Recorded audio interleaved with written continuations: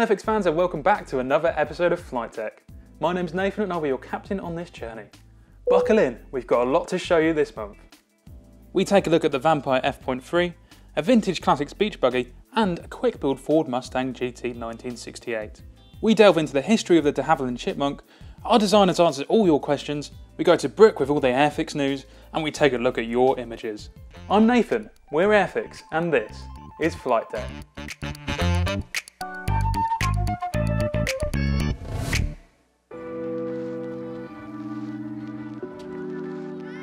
This fantastic new Vampire F.3 kit is made up of 123 pieces and is available to pre-order now.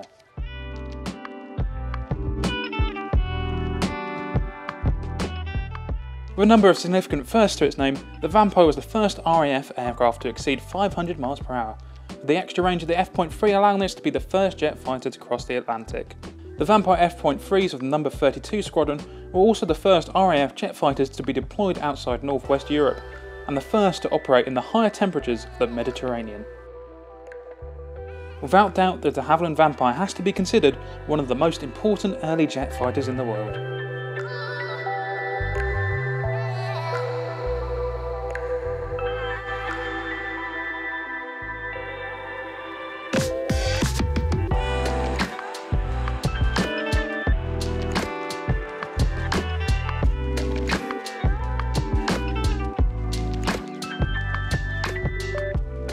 You want to hear from the designer himself, our interview with Vampire designer Tom is on our YouTube channel now. The link is in the description of this video. The 1967 model year Mustang was the first significant redesign of the original model. Ford's designers began drawing up a larger version even as the original was achieving sales success. In 1968, the fastback version appeared and achieved greatness via the power of Hollywood and a famed movie, making the Mustang the must-have car of the era still a much beloved car into the next century.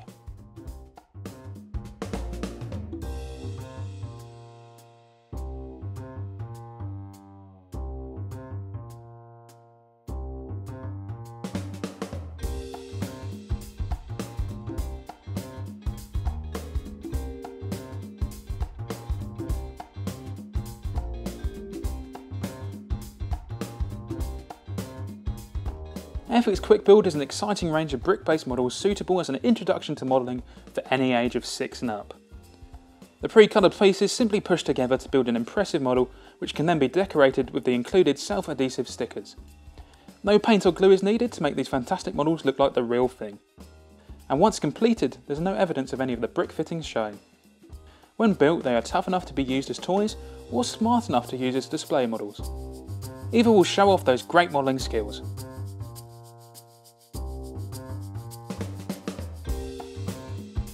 Included with each model are a full set of easy to follow colour instructions, free rolling wheels for cars and tanks, and display stands for all the aircraft.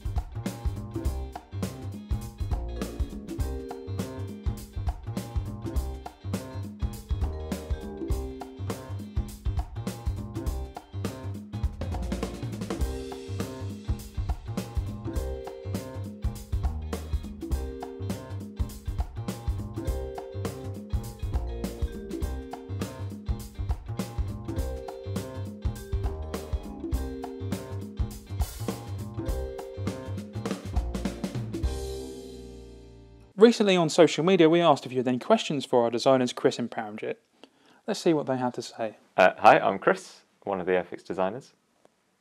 Which camera are we looking at? Good looking He's- the main one. Alright, cool. Hi, I'm Paramjit and I'm an Airfix designer. Uh, and I'm Chris, and I'm also an Airfix designer.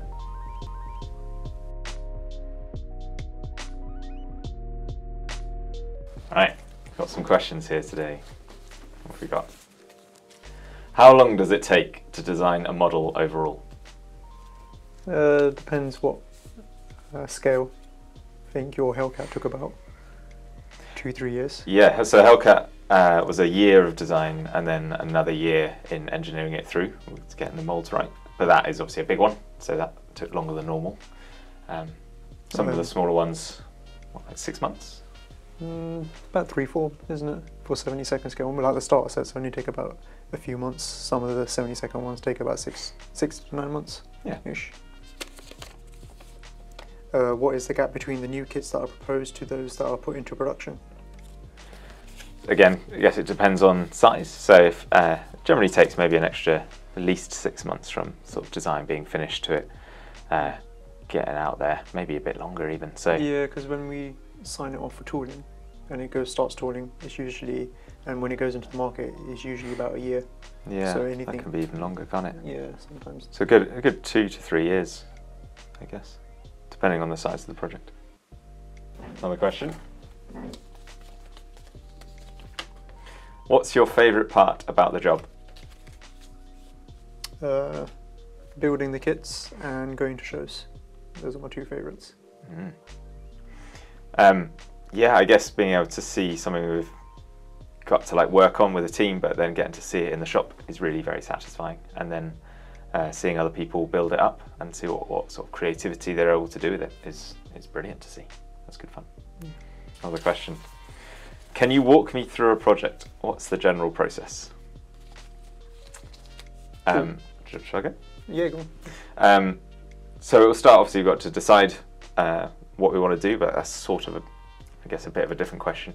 But once we've known what project it is, what um, what aircraft or tank or whatever, we will try and get as much research as we possibly can, which can come from a variety of different sources. Um, we'll go hopefully go visit one, take a bunch of pictures. Um, if it's possible, we'll get one 3D scanned, and so that's like collecting all the data, and then we'll start doing the CAD design, um, building up the kind of basic shape, uh, so we get confident on that. And then once we've got the shape, we'll start to split the parts up, figure out how we can uh, get it molded. Um, and once we've done all the CAD work, which yeah could take anywhere from a couple of like three months to a year, uh, then we'll get a prototype made, find all the issues with that, make all those adjustments, and then after all of that process, we'll send it off to get the mold made.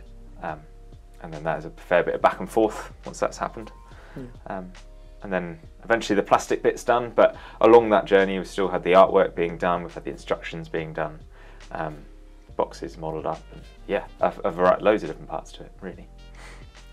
Uh, uh, do you snack and design? Question mark. Favorite biscuit? Question mark. Who snacks the most in the in the group? Oh, I don't know. I thought you were gonna say me. I haven't heard much rustling recently. So no, I eat more meals rather than snacking. yeah, it's true. You just eat all day long. yeah, I just eat but proper meals. meals. Yeah, and my second breakfast and then my third lunch of the Yeah. days. I mean, I definitely eat all the sweet things from my lunch early in the morning. We have loads of Haribos. Yeah, do you often have Haribo. Um, we used to, uh, as a design team, I'm not a part of this, by the way. we at one point um, created up a, a spreadsheet to analyse the favourite biscuits, um, all done in lunchtime hours, obviously. Uh, and so from that, I should say that uh, Golden Crunch creams are the best biscuit. If you could design any model and not worry about commercial pressure, what would it be and why? I Mm. know which one. You know which one I'm gonna go for. Yeah. Uh, not worry about. Oh. All right, you go first. One, I think. A one 350 Queen Elizabeth class carrier. You, did you know How it big? How big? How big is it? How big do you think that should be? It's about that big. Nice. It's that big, folks. Yeah. yeah, uh, that's probably my favourite one because I love building ships. As you know, I've brought in quite a few over the years. yeah. Um, that's how I sort of got back into the hobby, um, building ships, and yeah, that will be the one I would want to do, just because I enjoy doing it. That or the new Gerald R. Ford class carrier, because no one does one yet. Same with the Queen Elizabeth. I know it's quite similar to the Nimitz class, but that will probably be uh, Queen Queen Elizabeth class first, then the Gerald R. Ford. But it's just the Gerald Ard one is a lot bigger. Yeah. The Ford class carrier is a lot bigger. It'd be fun to do a 48th Vulcan. Just be absolutely massive. It would just It look, look the same then. just it just look like look the same, but closer. Uh, what is your favorite Airfix kit? And doesn't have to be whether you designed it or anything like that. Just what is, whatever's your favorite one. I think. Um, well, I'm going to take two questions. I think probably my the thing I get most joy out of is the Mary Rose little one to four hundred. It's uh, it was one of my first kits, but I I still I love it. It's a great little thing. Um, that's coming out of the starter set as well. Yep, coming back out again as a starter set. Uh, and then a kit that I think looks amazing, really cool, is the Walrus we've got. Oh really? Um, I think it's quite a Wasn't- fun. Wasn't expecting you to say that. No, I just think it's, it's a really interesting subject. I thought, uh, and I really like the look of the kit. Nice. So. What's your uh, What's your favorite one that you've designed, other than Mary Rose? Other, other than Mary Rose, uh, uh, because I've got three in my head that I know that you like, or four. so it's quite hard. I, I really, I, I guess I one of the ones I think I had the most pleasure of, of designing, and then probably like it is is the B17. Um, but, but yeah, Uh, but then I, I, the kit that I actually really like the look of at the end of it was the 48th Defiant uh, out of ones that I've done. I really enjoy that. I think it looks cool. Yeah. I mean, I was thinking you were probably going to say something like the Vulcan or Hellcat. But yeah. Nah, I don't. I mean, they're they're like I guess supposedly impressive, but they're not my favourite. Yeah. In terms of yeah, I get what you mean. Mm. Um, my favorite Airfix kit. Mm, one I enjoyed building quite a bit was, as in the painting stages of it, was one of the P51s where I done the blue nose. That was pretty cool. Mm. Really enjoyed that. Doing the Vulcan for the first time during test shots, that was pretty cool. I remember when we were locked down, I was calling you saying, "Oh yeah, uh, try this out," or maybe this Yeah. is. Do you remember that? Yeah, that Yeah. was last year. Um, Ran out of paint. Feel bad for that. I think I did, yeah. um, Hellcat was probably one of my favourite. I mean, that was just when I first started, and I think that was just when I just took one home and started building it, and then you guys saw. Was I it your doing. favourite because you got to do it for free? Was that why? no, I actually did enjoy that. I mean, yeah, remember I done the stands as well, designed the Yeah, stands. that was that was good. cool. that was a good project. That was a nice one. And then I've done the pilots. I took the pilots out from the 24 scale Typhoon Mm. and put them in there, and then done an in-flight pose. That was pretty cool. Yeah, that was brilliant. and having the engine and everything, doing that for the first and second and third, fourth time was Yeah. quite fun. They were pretty cool. I mean, like, yeah, that was. Um, I think most people have said that one they're doing the engine is quite a. It's like a mini kit in itself, and it's quite enjoyable. Mm. But I've done so many kits, as in Airfix kits. Um, B17 was pretty cool, just done recently. The very milk, kind. Milk wipe. Don't, you don't just have to say my ones. It's fine. Well, to be honest, I like the scheme rather than the aircraft, Ah, okay. so, as in the, des- the design of the, it. the designs Yeah, rubbish. Yeah, the design, But the, the design isn't that great. You could have done a bit better, to be honest. Um, but I like the color scheme I chose, so technically it had nothing to do with you. but no, uh, B17 was pretty cool. Um, in terms of like the ones I like looking at are those ones sort of thing. In terms of when you're, it's, you know, the ones that are good are the ones that you look at in a few years' time, and you're like, yeah, that looks pretty cool. Still like it. Yeah, when you still like it after a few years, then you know Mm. it's pretty good. Yeah, it's been good fun. Thanks for all your questions. Yeah, thank you. Um, feel free to ask some more. Maybe we'll do another one of these again soon. But it's been great. Cool. Take care. That's all we have time for from Paramjit and Chris in this video. However, we will be releasing an extended version on the YouTube channel in the coming weeks. So subscribe if you'd like to know the guy's tea dipping technique.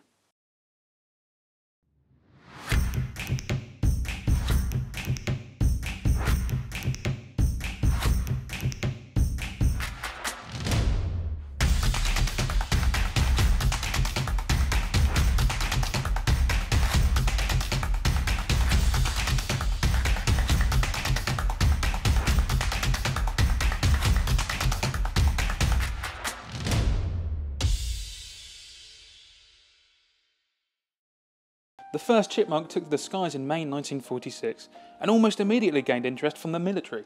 By April 1948, the Royal Canadian Air Force had taken delivery of their first Chipmunk, but they were not the only ones admiring the qualities of the extremely capable aeroplane.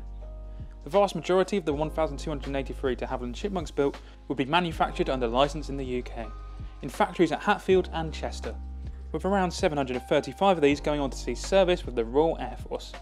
In RAF service, the British built machines were known as the Havilland Chipmunk Mark 10, and they would go on to provide basic flight training support for many thousands of future military aviators, in addition to providing air experience opportunities for many more as part of the University Air Squadron organisation.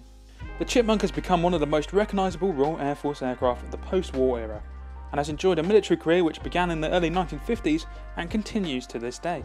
With such an impressive military pedigree as this, it's also interesting to note that the Chipmunk has gone on to become one of the most popular aircraft types on the civilian aviation scene. And it is estimated that well over 300 aircraft are still in airworthy condition worldwide. Sometimes unfairly described as the poor man's Spitfire, the Chipmunk surely now has to be regarded as a historic aircraft in its own right, and one which continues to underline the effectiveness of its design.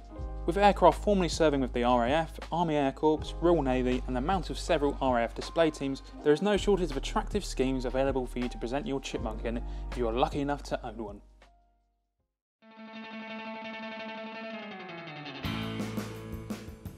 Also known as dune buggies, beach buggies are an integral piece of American counterculture and surfing culture of the 1960s.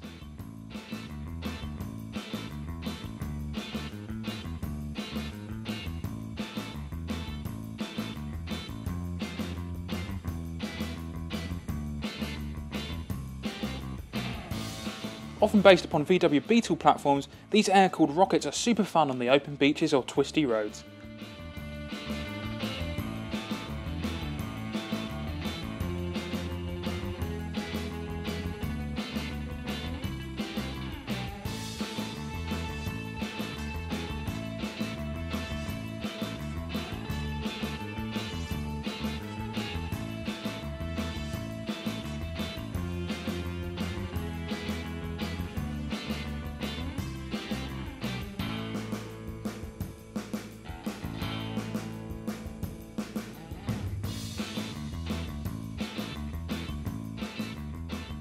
Perfect for exploring the terrain with the wind in your hair. This vintage classic from Airfix is a great throwback to a time of sand, sea and surf. Now over to Brooke with the news. Hi there, I'm Brooke and recently joined the team here at Airfix. I work behind the scenes in the digital community, so let's take a look at what we've been up to in the Airfix world. Ready to be stripped for paint, Hornby Hobbies' recent pride, the newly acquired Hawker Hunter now sits protected in its hangar close to Airfix headquarters. Purchased by our very own Lyndon Davies, CEO of Hornby, this iconic aircraft is a special tribute honouring the lives of employees who sadly passed and their families. Davies told the Yorkshire Post, I bought it personally, privately and will donate it to the company after logging the winning bid. Over the past year, we've lost quite a few people, not just because of COVID, but for various reasons, and it's going to be in memory of them. Now sheltered by a heavy duty sheet, the Hunter is in its first phase of an exciting restoration process.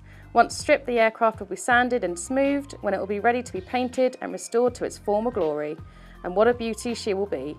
Once restored, this high profile aviation classic will be under the care of the RAF Manston Museum team. The exact location is yet to be confirmed. We've been on the hunt for a wheel for our hunter and we're pleased to say we've found one. Our Airfix, sorry, Scarefix competition ended on Halloween, 31st of October. We offered one lucky winner the chance to win a free 40 second scale Boulton Paul Defiant Mark 1.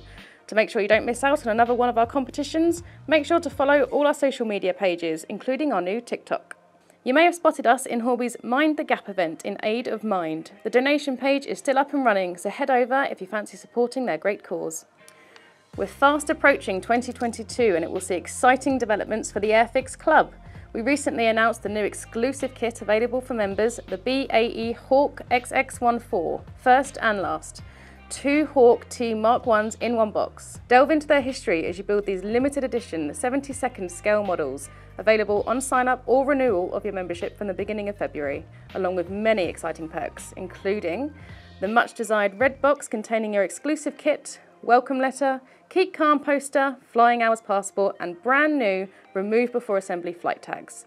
Plus 10% discount of all kits at airfix.com, club magazines, exclusive products, competitions, and member only experiences. This past month, the team has been reviewing your fantastic model shots for the Airfix Club calendar. It will be a hard pick this year. Don't forget, you can still send in your model shots to marketing at airfix.com. That's all from Airfix News this time. I pass you back to Nathan to take a look at some of your fantastic model shots. Thanks, Brooke. Now let's take a look at some of your images from the last month.